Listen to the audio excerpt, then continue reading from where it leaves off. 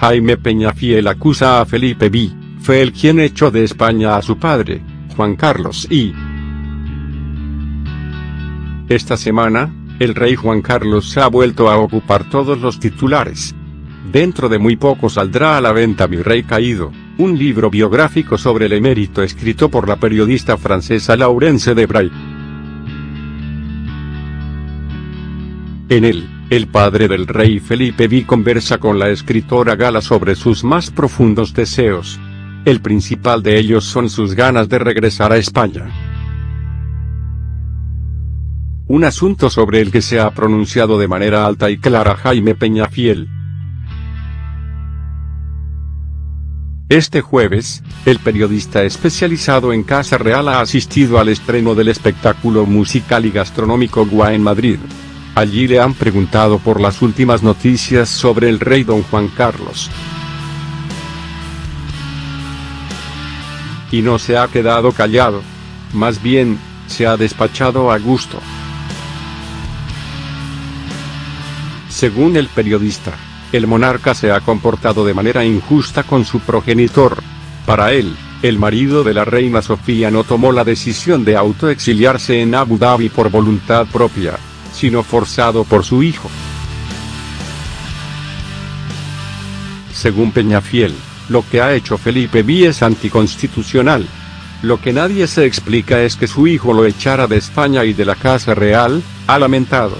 El artículo 19 de la Constitución lo pone. No se puede expulsar a ningún ciudadano de su país. Lo que hizo su hijo es anticonstitucional, añadía. ¿Ha habido padres que han echado a sus hijos de casa? ha recordado Peñafiel. ¿No le parece admisible que un hijo, en este caso su majestad el rey Felipe, que haya forzado la salida de su padre al extranjero? Que un hijo eche a su padre de su casa y de su país es inconstitucional, ha sentenciado.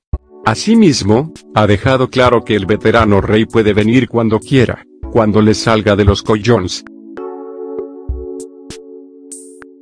Así habla de la reina Sofía, aguanta con dignidad tantas infidelidades. El periodista y escritor ha opinado también sobre la reina Sofía, cuya labor como cabeza de familia le parece encomiable. Ella es una gran profesional, como dijo su marido, ha apuntado. Aguanta con dignidad tantas infidelidades. Cabe recordar que el rey don Juan Carlos puso rumbo a Abu Dhabi el 1 de agosto de 2020. Desde entonces han pasado ya 14 meses. Un tiempo más que suficiente para reflexionar sobre su larga trayectoria como jefe de Estado. Y sobre su estancia en Emiratos Árabes. En sus memorias ha confesado que la decisión de irse de España no fue tal y como tenía previsto, ya que inicialmente quiso ir a Portugal y no a Oriente Medio. Asimismo, cree que tomó la decisión acertada, afrontaba muchas presiones. Desde aquí no molesto a la corona.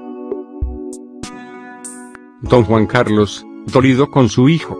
En el libro, don Juan Carlos comparte sus valoraciones sobre la labor de su hijo al frente de la institución monárquica. Admite que se siente dolido con su hijo, con el que apenas tiene relación. Sus hijas, la infanta Elena y la infanta Cristina, están pendientes de él y han ido a visitarlo en numerosas ocasiones.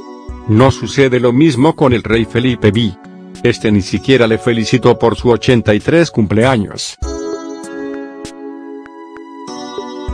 El libro de Laurence de Bray coincide con la publicación de la agenda de Emilio Alonso Manglano, director del CECID desde 1981 hasta 1995. En ella se desvela que Juan Carlos sí recibió 36 millones de dólares del rey saudí para la transición. También recibió ayuda del Shah de Persia para apoyar a Adolfo Suárez.